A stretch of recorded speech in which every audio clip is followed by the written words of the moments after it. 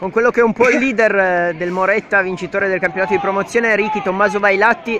Allora Ricky è un grande trionfo, il trionfo soprattutto di un gruppo coriaceo che fino all'ultimo ci ha creduto, siete riusciti ad avere la meglio di una squadra forte come Revello.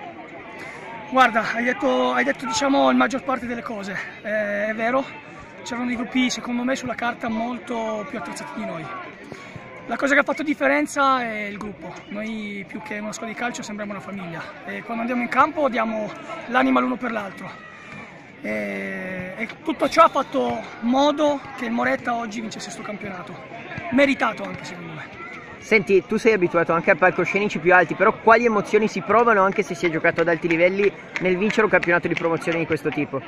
Guarda, io ho avuto la fortuna di, anche essere un ragazzino, vincere due campionati di Serie B Oggi ho vinto un campionato di promozione, ti posso assicurare che la gioia è, è uguale, perché quando vinci è, è sempre bello, eh, la bevo dopo, quando vinci un campionato è sempre bello, può essere di terza categoria, può essere di Serie A, la gioia è nel festeggiare con i compagni e con le famiglie è la cosa più bella che c'è. Prossima, il prossimo anno c'è voglia di fare l'eccellenza, resterai io, qui?